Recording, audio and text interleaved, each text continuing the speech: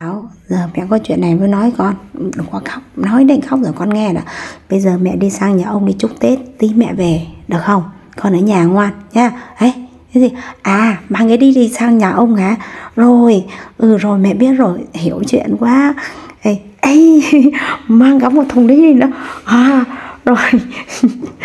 Rồi à ôi ôi mang mang cả bao lì xì của con đi nữa. Thế chúc tết như nào con? Ờ, Ồ oh, chúc tết như vậy hả? Ơi nhảy nữa hả?